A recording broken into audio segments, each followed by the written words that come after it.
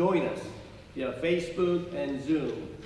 Today is Pentecost, when the Holy Spirit comes up upon disciple, the church started.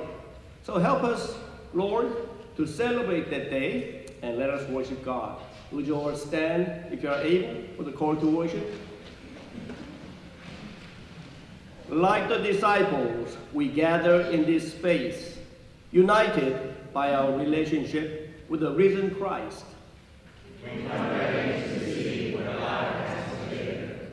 Just as tongues of fire descended on the disciples, the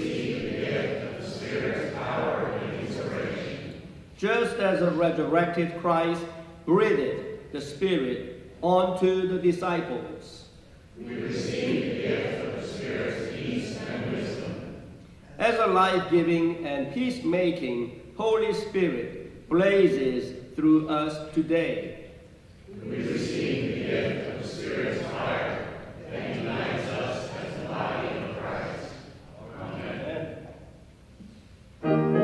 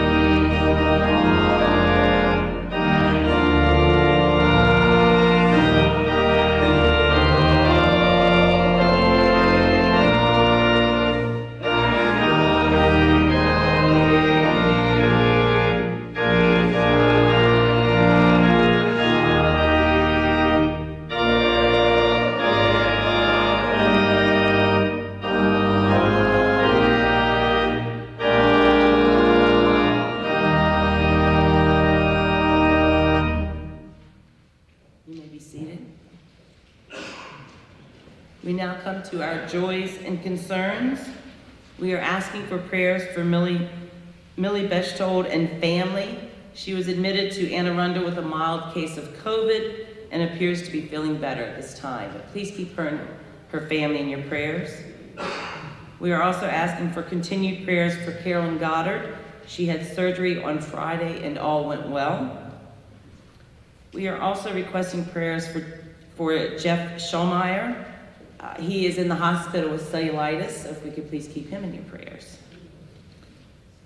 And we are requesting prayers for the Guatemala mission team as they serve and travel. Yesterday, yesterday they arrived safely in Guatemala City, and today they travel to San Juan, where they will serve this week alongside Impacto Ministry. Mary Adams and Harold Patterson from our church are there with Blacksburg United Methodist Church. And we are asking for prayers for Jody Rudd. She will have surgery this Friday, so please keep her in your prayers at that time. Um, for our own John Jones was Grand Marshal for yesterday's Bowie Memorial Day Parade. He flew F-86 Sabre jets during the Korean War. So, and we have another joy. Barbara's parents, the Adorneys, are celebrating their 70th anniversary this week. Happy anniversary. Thank you.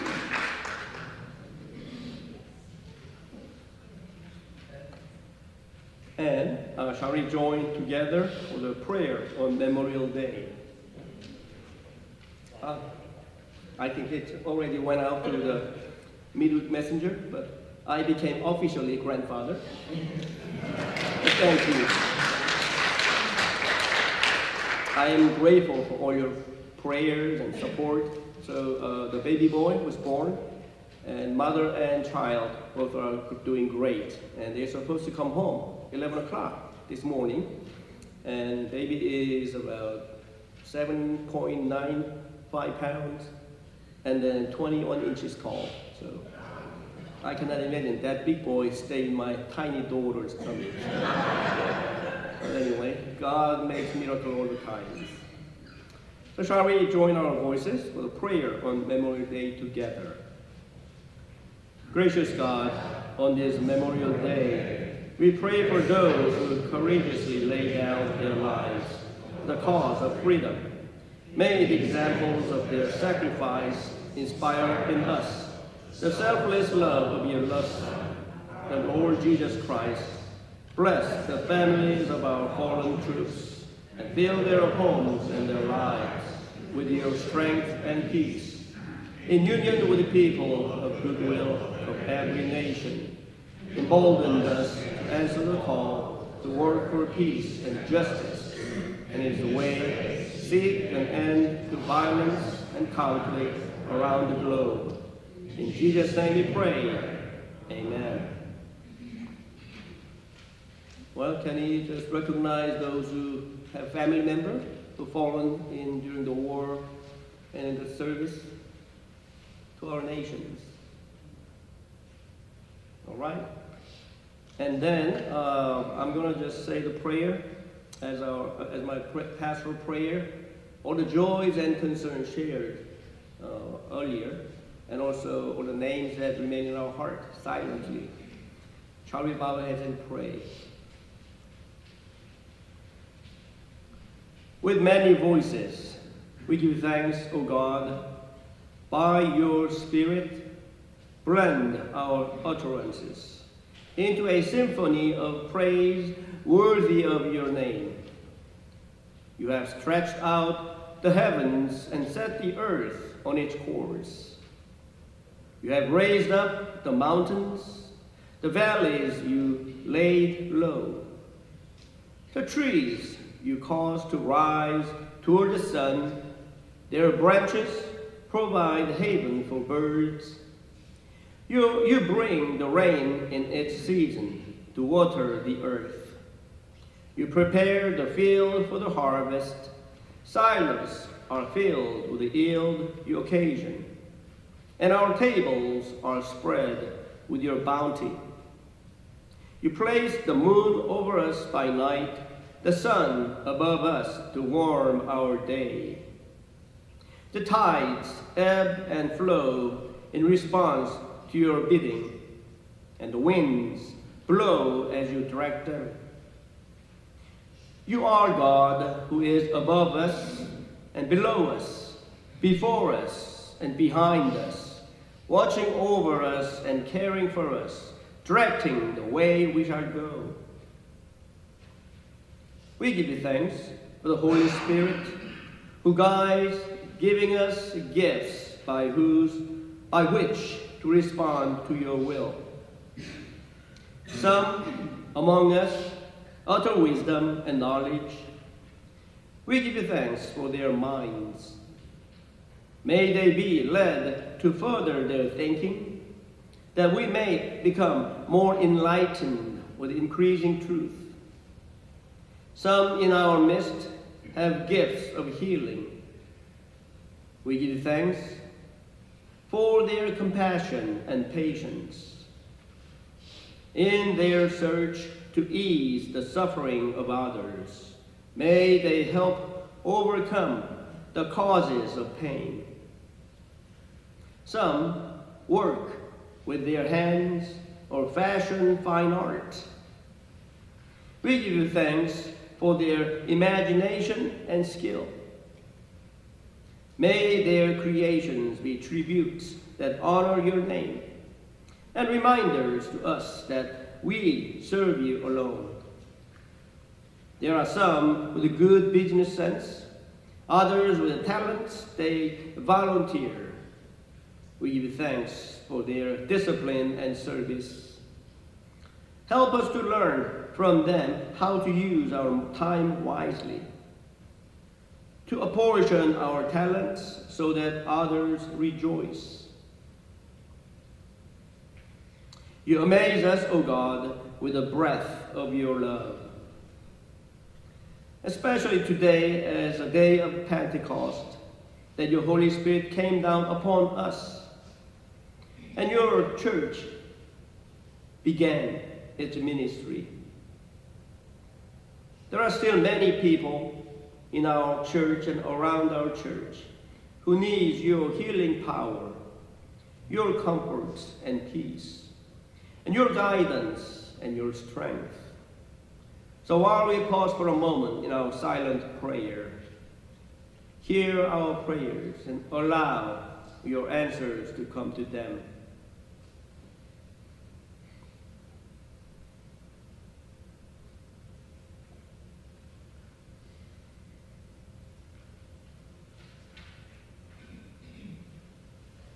Loving God, we always are grateful for your guidance upon our lives, and you provide the answers to our prayers. So hear our prayers today as we lift up all these supplications. You continue to fill us with the breath of your Spirit. For all your mercies, we give you thanks and praise. We dare to pray in the name of Jesus Christ, our risen Lord. And let people of the church say, Amen. And now, let us pray as our Lord has taught us to pray. Our God, who art in heaven, hallowed be thy name. Thy kingdom come, thy will be done, on earth as it is in heaven. Give us this day our daily bread, and forgive us our trespasses, as we forgive those who trespass against us. And lead us not into temptation, but deliver us from evil. For thine is the kingdom, and the power, and the glory forever. Amen. And now, shall we all stand for the uh, hymn before Scripture?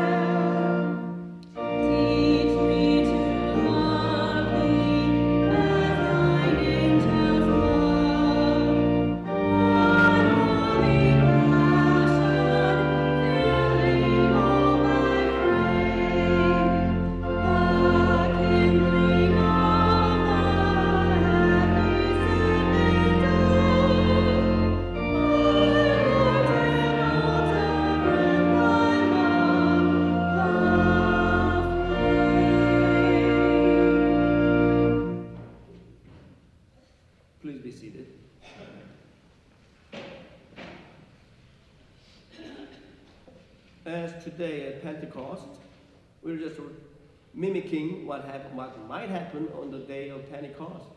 So the English version will be projected on the wall, and Faith is going to read in German, and you could read along in English, unless you speak German. And I'm going to read in Korean, and you do the same thing. Thank you. Guten Morgen. Ah, Ich lese euch ah, vom Paulus, erster Brief an die Korinther, Kapitel 12, Verse 3 bis 13. Darum äh, tue ich euch kund, dass niemand Jesus verflucht, der durch den Geist Gottes redet. Und niemand kann Jesus den Herrn äh, nennen, außer durch den Heiligen Geist. Es sind verschiedene Gaben, aber es ist ein Geist. Und es sind verschiedene Ämter, aber es ist ein Herr. Und es sind verschiedene Kräfte, aber es ist ein Gott, der da wirkt alles in allem. In allem jeden offenbart sich der Geist zum Nutzen aller. Dem einen wird durch den Geist gegeben, von der Weisheit zu reden. Dem anderen wird gegeben, von der Erkenntnis zu reden. Nach demselben Geist, einem anderen Glaube, in demselben Geist, einem anderen die Gabe, gesund zu machen. In dem einen Geist, einem anderen die Kraft, Wunder zu tun. Einem anderen prophetische Rede, einem anderen die Gabe, die Geister zu unterscheiden, einem anderen mancherlei Zungenrede, einem anderen die Gabe, sie auszulegen. Dies alles aber wirkt derselbe eine Geist und teilt einem jeden das Seine zu, wie er will. Viele Glieder, ein Leib. Denn wie der Leib einer ist und doch viele Glieder hat. Alle Glieder des Leibes aber, ab, obwohl sie viele sind, doch ein Leib. So auch Christus, denn wir sind durch einen Geist alle zu einem Leib getauft. Wir seien Juden oder Griechen, Sklaven oder Freie und sind alle mit einem Geist getrennt.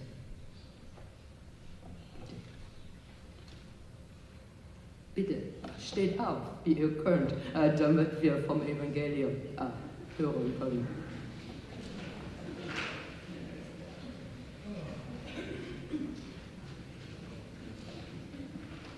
두 번째 말씀은 사도행전 2장 1절로부터 21절까지 읽겠습니다. 오순절 날이 이미 이름에 그들이 다 같이 한 곳에 모였더니 호련히 하늘로부터 급하고 강한 바람 같은 소리가 있어 그들이 앉은 온 집에 가득하여 마치 불의 혀처럼 갈라지는 것들이 그들에게 보여 각 사람 위에 하나씩 임하여 있더라. 그들이 다 성령의 충만함을 받고 성령이 말하게 하심을 따라 다른 언어들로 말하기 시작하느니라.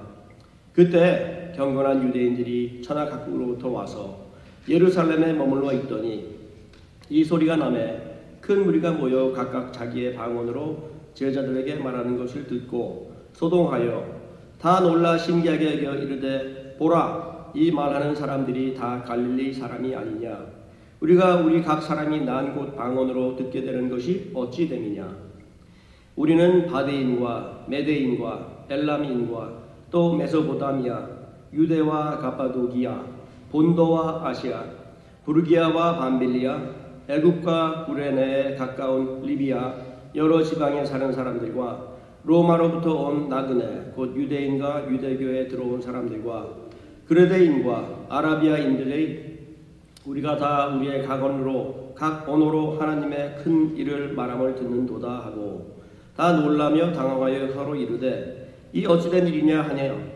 또 어떤 이들은 조롱하여 이르되 그들이 새 술에 취하였다 하더라.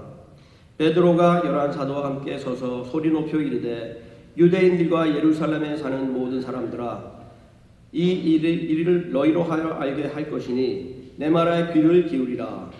때가 제3신이 너희 생각과 같이 이 사람들이 취한 것이 아니라 이는 곧 선지자 요엘을 통하여 말씀하신 것이라 일렀으되 하나님이 말씀하시길 말세에 내가 내 영혼을 모든 육체에 부어주리니 너희의 자녀들은 예언할 것이요 너희의 젊은이들은 환상을 보고 너희의 늙은이들은 꿈을 꾸리라. 그때 내가 내 영을 내 남종과 여종에게 부어주리니 그들이 예언할 것이요 또 내가 위로 하늘에서는 기사를 땅 아래, 땅 아래 땅에서는 징조를 베풀리니 곧 피와 불과 연기로다. 주의 크고 영화로운 날이 이르기 전에 해가 변하여 어두워지고 달이 변하여 피가 되리라. 누구든지 주의 이름을 부르는 자는 구원을 받으리라 하였느니라. 이것은 하나님의 말씀입니다. 아멘. You may be seated, please. Oh no, please stay. Spirit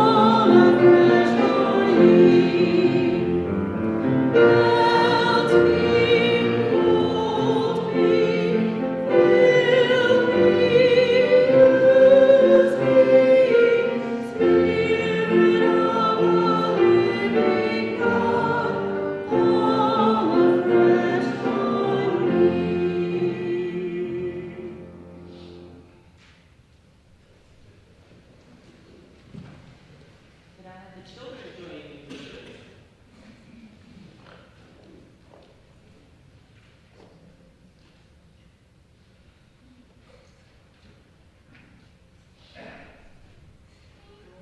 Good morning.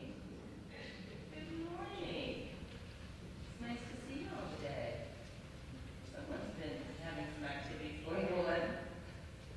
How are you doing? So you know, on a warm spring day, a fan can really help keep us cool. can't it? Yeah. How does a fan help to keep us cool? Yes, that's right. By blowing cool air on us. So I'm going to turn this fan on. Do you see any air coming out of the fan? No, you can't really see the air, can you? So how do you know the fan's working?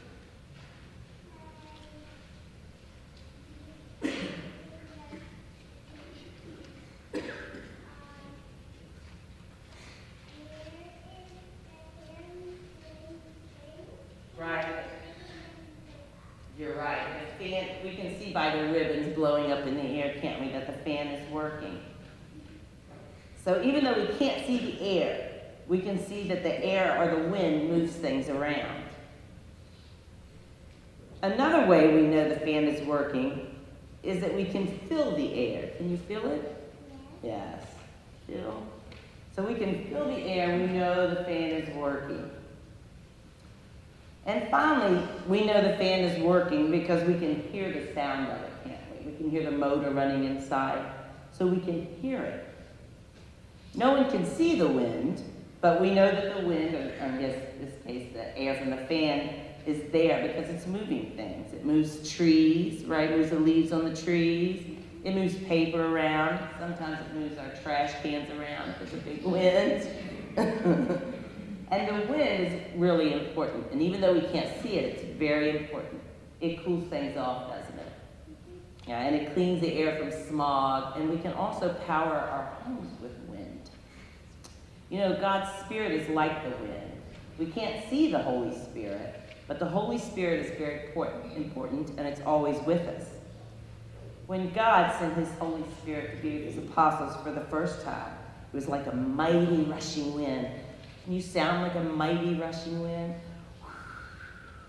Yes. And many churches still celebrate that day. Do you know what it's called? Good, very good. It's called the Day of Pentecost. The apostles were all gathered together, and when the loud wind came, they saw what looked like tongues of fire that came to rest on them, And all of them were filled with the Holy Spirit. They couldn't see the Holy Spirit, but they knew that the Holy Spirit was there because they could see the flame, flaming tongues of fire and feel the power in their life, just as we see the red ribbons blow from the air, right? The Holy Spirit is still with us today.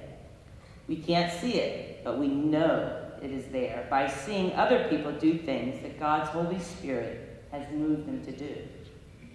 We know the Holy Spirit is there because we can feel His presence in our life. The Holy Spirit speaks to our hearts, and we can see this moving in our life, and we can feel the power of His presence as He guides us through each day. Let us pray. Dear God, thank you for sending the Holy Spirit to be our teacher and guide. Help us to listen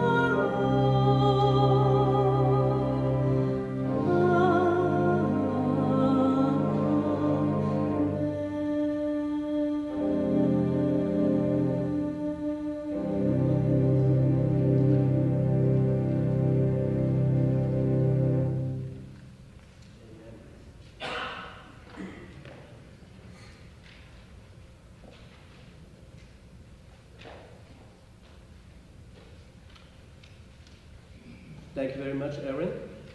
And also, uh, I'd like to encourage you for next year, day of Pentecost. I would like to recruit those of you who can speak foreign language. Help us know, and we'll have you read a uh, scripture in foreign language as we did today. Pastor Riley was in the middle of his sermon when he noticed a man had fallen asleep with his head on, her, on his wife's shoulder. Wake up your husband, Pastor Riley snapped. The wife smiled, smiled and replied, You put him to sleep, you wake him up. so, anybody, if my sermon bore you and make you sleepy, feel free to sleep on shoulder of your spouse or somebody beside you. Today is Pentecost, the birthday of Christ Church. The readings from Acts of Apostles talks about how the Holy Spirit came down upon the disciples on that day And what happened to them? Luke explained in Acts of Apostles, and suddenly from heaven there came a sound like the rush of a violent wind, and it filled the entire house where they were sitting. Divided tongues as a fire appeared among them. A tongue rested on each of them. All of them were filled with the Holy Spirit and began to speak in other languages as the Spirit gave them ability. The time of Pentecost was a joyous one in the life of the Jewish people. In contrast to Passover, where they ate unleavened bread to commemorate the solemn passage out of Egypt, out of Egyptian slavery. They baked yeast bread for the first harvest of the grain of the new growing season. The feast of Pentecost always occurred on Sunday, 50 days after Passover. Jewish pilgrims came from all over the world to be in the holy city, that celebration. Jesus died during Passover. He, however, resurrected, conversed with his disciples, and ascended into heaven shortly before the feast of Pentecost. He spoke to them of the Holy Spirit, whom he would send in his place to dwell in and empower his followers. He asked that they remain in Jerusalem in prayer. So they did, fasting and praying for three days. At the end of the, at that time, they who had hidden themselves behind locked doors now burst into the streets. In a state of a spiritual ecstasy, they preached the Christ that so embodied the power and being of the Almighty. That even the chains of death and the walls of a tomb could not hold him. What got the attention of the pilgrims from all of the world was the fact that these uneducated men proclaimed the good news in such a dynamic, love filled, and spirit filled way that these people heard them speaking in the dialects and languages of peoples in countries they knew little or nothing of.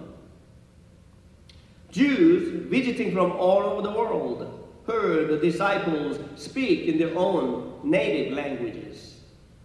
Goodness, love, and forgiveness, it transcends human languages.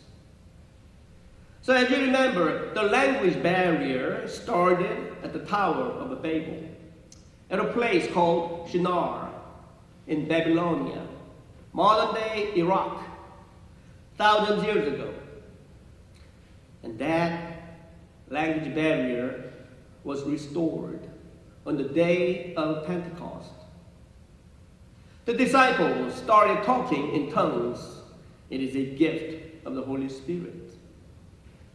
Speaking of gift of the Holy Spirit, Apostle Paul is writing to the church at Corinth, a church torn with dissension, a church in which some of the believers feel superior to other believers. And he is telling them that all of them are important to the work of God. He compares the body of Christ, the church, to the human body. It is a wonderful analogy. So Paul writes, if the foot would say, because I am not an hand, I do not belong to the body, that would not make it any less a part of the body.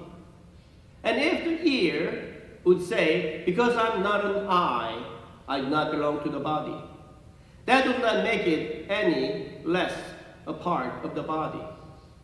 If the whole body were an eye, where would the hearing be?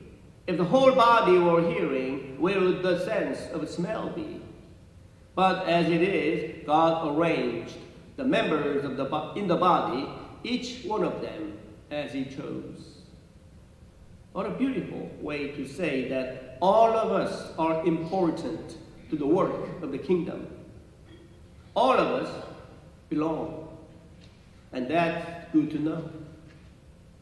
We need one another. A little poem says it well.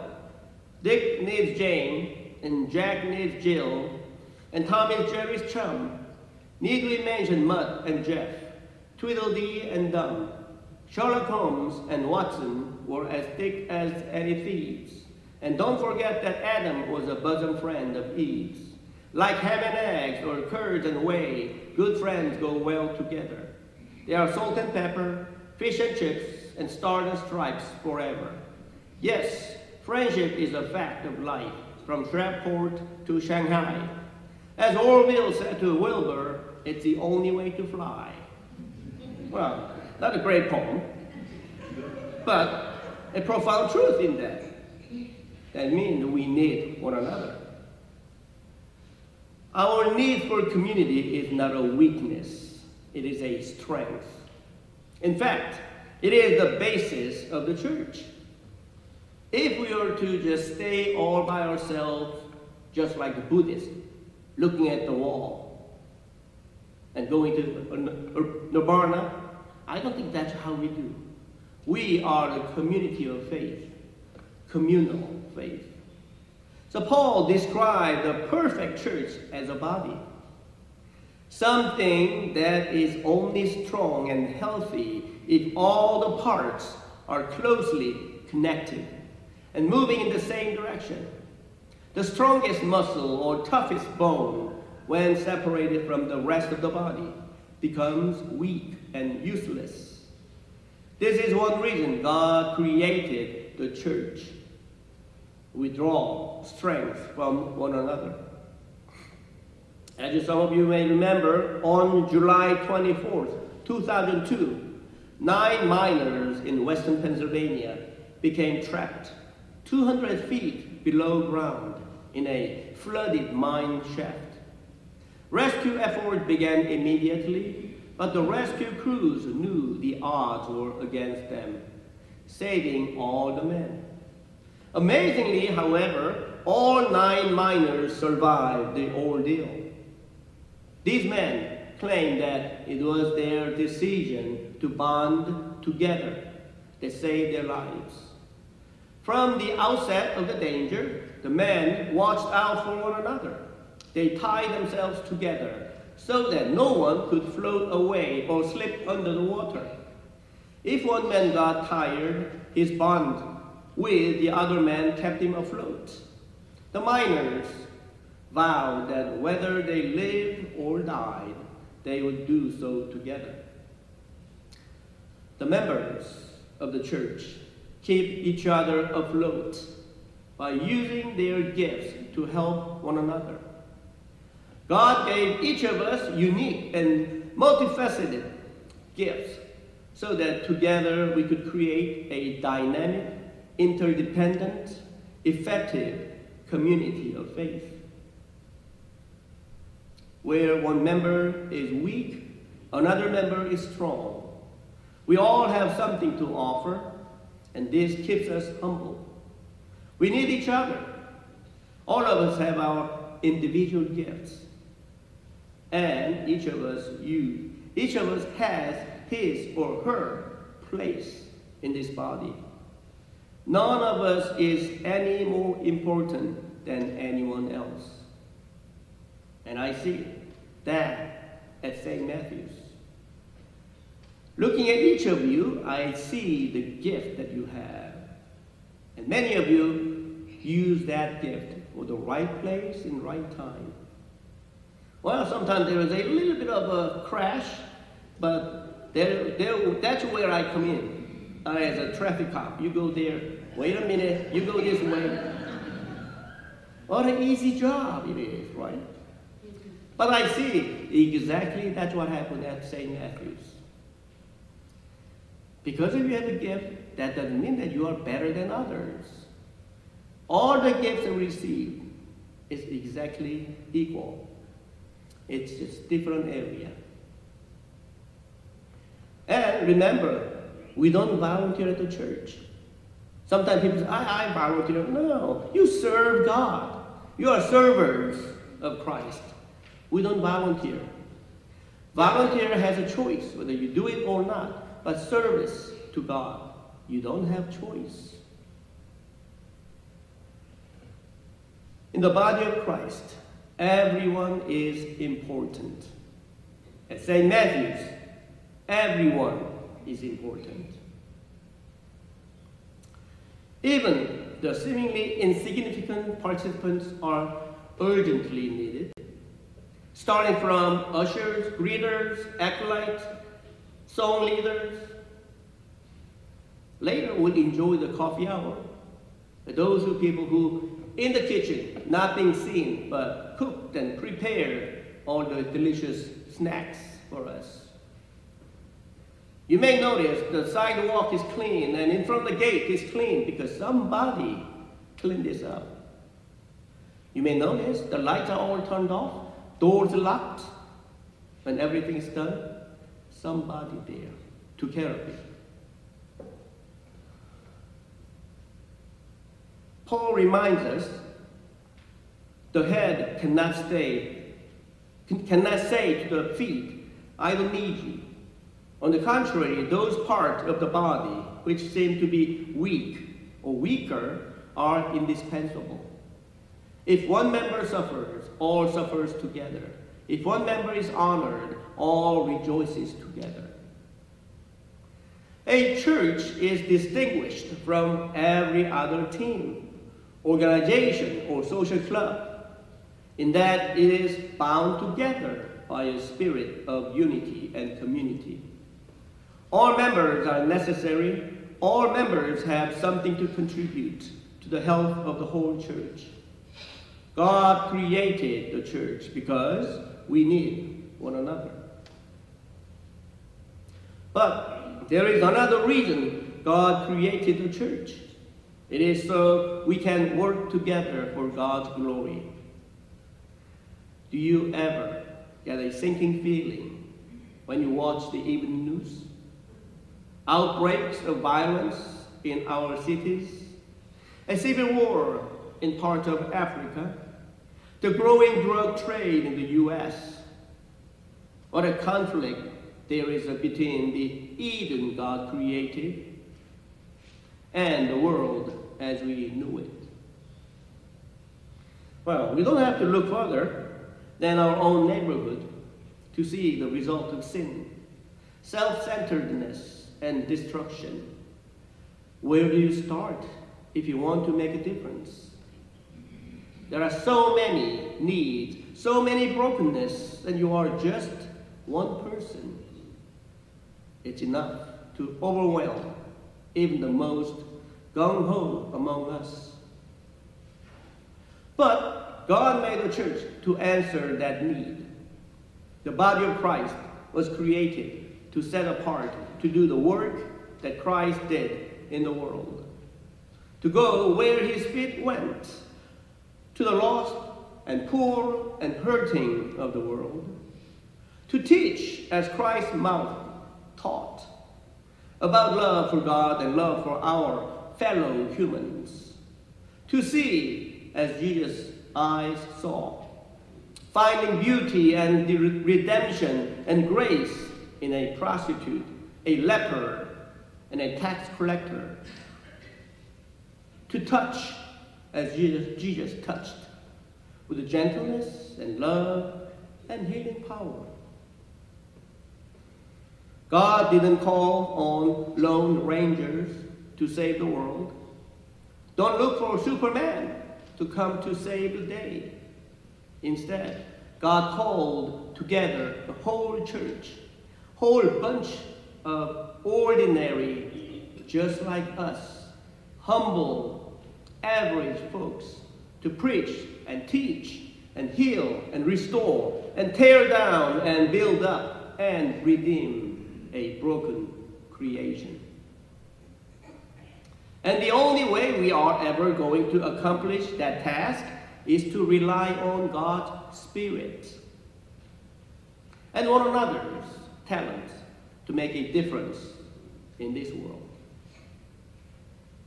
But in fact, right, St. Paul, God has arranged the parts in the body, every one of them just as He wanted them to be. What keeps us from being just another random group of strangers? What keeps us from being another social club? It is our quality of who we are. It is our equality. It is our unity and our charity through the Holy Spirit that makes us, as a church, as a body of Christ. It is the fact that God brought us together and arranged us just as God wanted us to be, with a clear purpose and plan in mind. So we are God's agent of grace in the world. So let us stop looking at our own weaknesses and instead look at the God given strength that we as a community bring to our task. Charles Colson, in his book called Body, The Body, tells of the struggles of some, some Polish workers to build a church near their factory in Nowa Huta, which means new town. At first, the town officials acceded to this request, but later recanted their approval. A struggle com- commenced. The workers erected a wooden cross on the site of the church and held a mass there every evening. The officials tried to disperse them with a water cannon.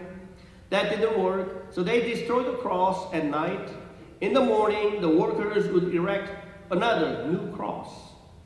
Through their struggle to build a church building, which went on for years, the workers came to realize the true nature of the church. The church is not a place, but the people of God. Celebrating the presence of Christ in their midst, eventually the struggles of those Christian workers bore fruit. Your church needs you. St. Matthew's needs you. God called you here for a reason. If you don't find the reason why God called you here, pray about it. May you have the confidence to join with others and offer yourself freely for God's service so that God may use you to make a difference not only in this church, but not only in this community, but also whole world. On this Pentecost, as you receive the Holy Spirit. I pray that Holy Spirit inspires you, move you, enables you to do good. Let us pray. Gracious God, we thank you for the gifts, the Holy Spirit. We surely sense the Spirit's presence in each of us. We are no longer our own but we are yours. So let your spirit guide us every movement, every action, every word that came out of our mouth. So we will depart the one whole body. In Jesus' name we pray. Amen.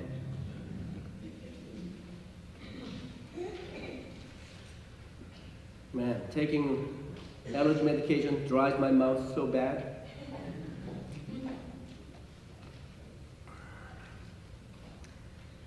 So shall we pray as before we give, as we as we prepare our tithe and offerings? With many voices we praise you, O God.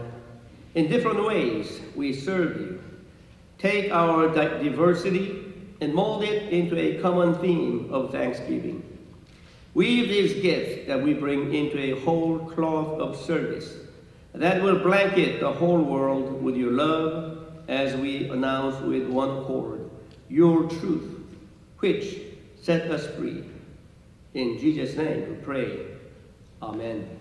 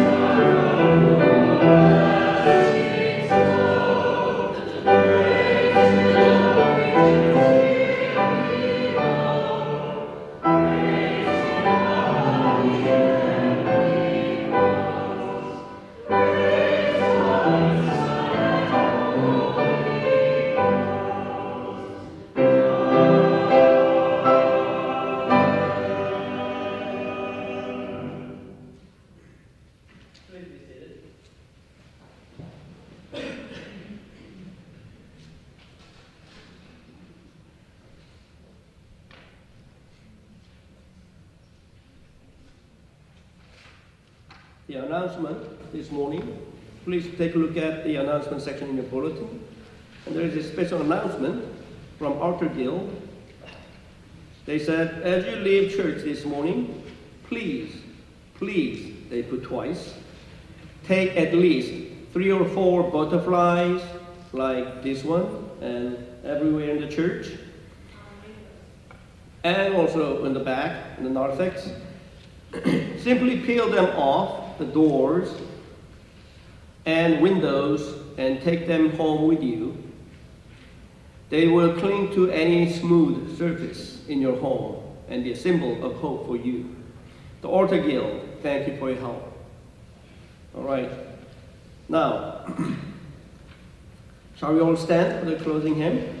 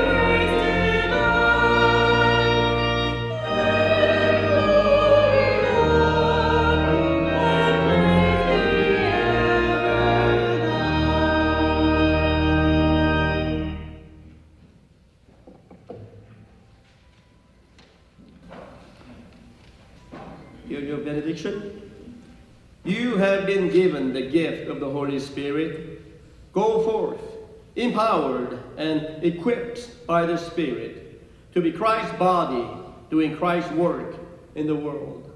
Go in peace. Amen.